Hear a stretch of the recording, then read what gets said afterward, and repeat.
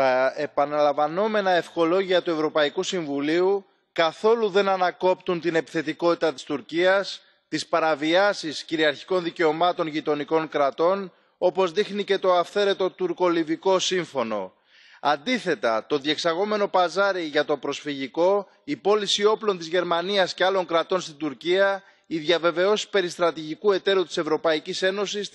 την αποθρασύνουν με δεδομένη την ανάλογη στάση των ηνωμένων πολιτειών του νατο και του οηε σε ρόλο πόντιου πιλάτου είναι εκτός πραγματικότητας και επικίνδυνος ο καλλιεργούμενος εφησυχασμός από την κυβέρνηση της νέας δημοκρατίας και το σύριζα πολύ δε περισσότερο το κυβερνητικό κλίμα εφορίας οι ευρωατλαντικές μεθοδεύσεις για συνδιαχείριση σε αιγαίο και ανατολική μεσόγειο θα οξύνουν τις αντιθέσεις και θα περιπλέξουν περισσότερο την κατάσταση. τα λαϊκά συμφέροντα είναι σε αντίθεση με αυτά των ομίλων. η απάντηση είναι η ένταση της λαϊκής πάλης κατά των ξένων βάσεων των αστικών τάξεων και των υπερελιστικών ενώσεων για να ζήσουν οι λαοί ειρηνικά με τη δική τους εξουσία με σεβασμό στα κυριαρχικά δικαιώματα.